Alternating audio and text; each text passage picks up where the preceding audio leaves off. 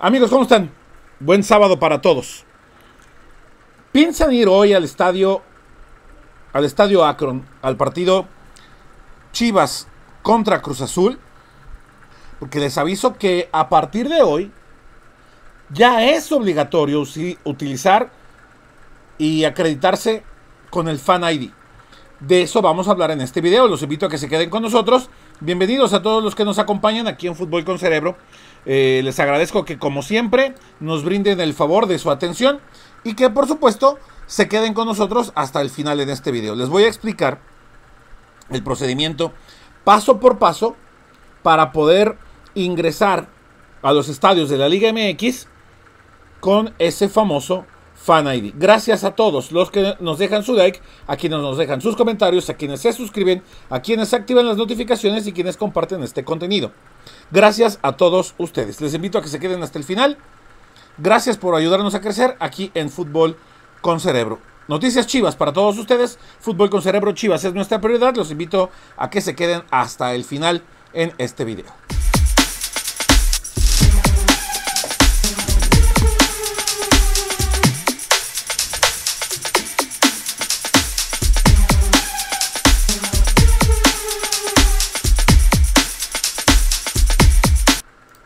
Si se acuerdan amigos, el Fan ID apareció en el fútbol mexicano hace no mucho tiempo como reacción por parte de las autoridades del fútbol mexicano de la Liga MX para tener un mayor control de quiénes somos los que entramos y nos incluimos nosotros a los que vamos a chambear. Todos los que van a chambear también tienen que tramitar su Fan ID. El cubetero tramita Fan ID. El que vende lonches lo tramita. El directivo lo tramita. Yo los jugadores son los únicos que no que no, no lo utilizan porque su vía de, vamos, ellos son los que ofrecen el espectáculo. Y los que vamos a participar de él, los que vamos a trabajar y los que van a disfrutar del espectáculo, esos somos los que tenemos que hacer uso del Fan ID. Después de la bronca aquella que pasó en Querétaro, se acuerdan todos ustedes, eh, en todo el fútbol mexicano se determinó instaurar el uso del Fan ID. ¿Qué es el Fan ID? Es el registro que se lleva de manera digital en la Liga MX de quiénes son todas las personas que ingresamos a un estadio de fútbol. Para que en caso de que un día alguien se ponga loco y le pegue de madrazos a otro que está allá abajo, eh, o alguien se brinca la cancha y hace sus desatinos, eh, con el Fan ID detectas, ves quién es, lo buscas en tu base de datos y puedes ir con él y lo denuncias ante las autoridades. O Simple y sencillamente, como ya pasa en algunos estadios que ya usan el Fan ID, se reservan el derecho de admisión.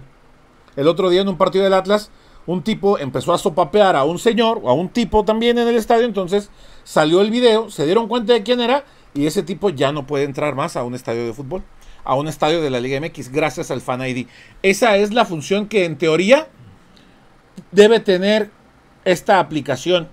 Ojalá que el Fan ID sirva para evitar que pasen cosas como lo que ocurrió ayer en, Tijuana, ¿no?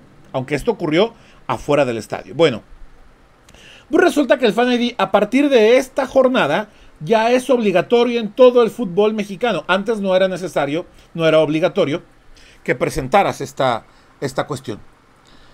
¿Cómo sacarlo?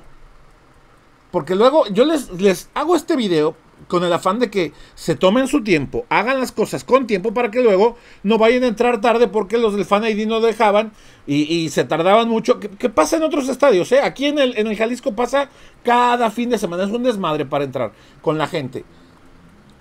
Y los que fueron al clásico tapatío, que no habían ido hace mucho tiempo al Jalisco, no me van a dejar mentir. Había gente que tardaba hasta 45 minutos para entrar por estas filas tan largas que se hacen porque no tramitan de manera adecuada o no lo hacen bien o la aplicación se cae o lo que ustedes gusten y manden o no me agarra el internet, lo que ustedes lo que ustedes me digan y todo eso pasa. Pero si esto lo hiciéramos, si las cosas las hacemos con tiempo, lo más probable es que lo hagamos el, procedimiento y cumplamos de una manera fácil y rápido. A ver, en su celular, en su dispositivo móvil, lo que uno tiene que hacer es meterse muy fácil. Al portal, y aquí está arriba, fanliga.mx. Fanliga.mx. Es la página en la que desde su dispositivo deben ingresar. Y se van, y después se van a ir a, donde dice ir a Encode ID Wallet. les voy contando más o menos cómo es el proceso. Hay que escanear este código con la cámara de su celular o enviar un enlace a su número de teléfono. Y aquí les va diciendo y les va a ir dando las, las, eh, las instrucciones de qué es lo que hay que hacer. ¿Cómo funciona? Esta onda funciona de, esta, de este modo. Vas, te registras, te tomas una foto, escaneas tu identificación. ¿Qué identificación? Eh, una, una IFE, tu pasaporte, o si vienes del extranjero a ver un partido de México, que pasa mucho con la gente de Chivas, viene, vienen muchos paisanos de los Estados Unidos, un documento oficial de cualquier país, documento oficial. Después, descargas tu código QR y lo muestras. Que llegas a la... Ok, que ahorita no tienes chance, que ya que estás en el estadio, ahí hay personal de Incode que rápidamente en el estadio Akron les ayuda en la fila, ahí sí se van a tardar, a hacer este procedimiento rápido y fácil, lo más sencillo posible. Esta cuestión es para seguridad de ustedes y de nosotros, de todos los que vamos a, un estadio de fútbol para, eh, digamos, pues, tener certeza todos quién está dentro de un estadio y, bueno, pues, qué, qué funciones tiene, ¿no? De tal manera que esto ayuda a proteger, y por supuesto, en teoría, se, protegen los datos de todas las personas que generamos nuestro Fan ID. Les decíamos, todos, todos tenemos que hacerlo. No es de que si quieren, que sí, que tardan mucho. Bueno, son los nuevos tiempos del fútbol. Los nuevos tiempos del fútbol ya, se, ya, ya han, terminado con ese romanticismo de que uno podía llegar al estadio faltando 10 minutos y entraba como si nada y me estacionaba a dos eh, pasos de la puerta. No, señor, hoy las cosas son muy diferentes a lo que vivimos otras generaciones. Entonces hay que adaptarse. Es adaptarse o morir.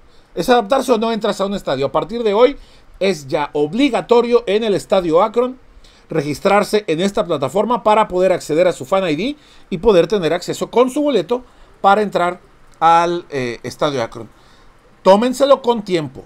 Por eso este video, para que lo hagan con tiempo y al rato no anden con la bronca de que, oye, no me dejaron entrar. Pues no, señor. Si no tienes tu Fan ID, no te van a dejar entrar. Ojalá que les, les haya servido a quienes piensen estar en un estadio del fútbol mexicano, porque a partir de esta fecha, ya, insisto, es obligatorio. Eh, insisto, allá afuera del estadio Akron hay personal, afuera de todos los estadios hay personal de esta empresa Encode que te ayudan a hacer este procedimiento mucho más fácil. Siempre y cuando tengas internet en tu teléfono, ¿verdad? Eh, eh, y, puedas hacer este procedimiento de una manera fácil y rápida. Espero les haya servido este video. Gracias a todos por acompañarnos. Un abrazo. Pásenla muy chido y los invito a seguir al pendiente de todo nuestro contenido aquí en Fútbol con Cerebro.